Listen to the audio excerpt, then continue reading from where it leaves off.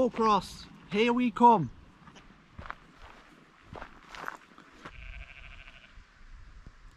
We're approaching the entrance. Last came here about 15 years ago, been a long time.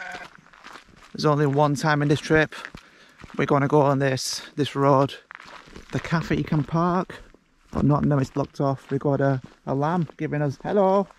The cafe there will stop people going on parking, so I've just parked away. But here is the start of the famous road and the sign, the famous sign before you go on it to warn you that it's a scary road. So there's a couple of bikers just sat on the, the table. It's very peaceful and quiet.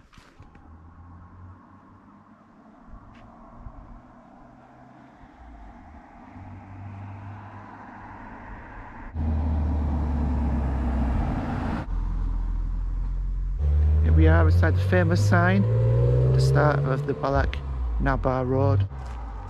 It's a daunting road, I tell you. I'm going to be on it shortly. Hello, big one. Run, run, run. And look at that, pretty cool. We're going to take the GoPro on the roof.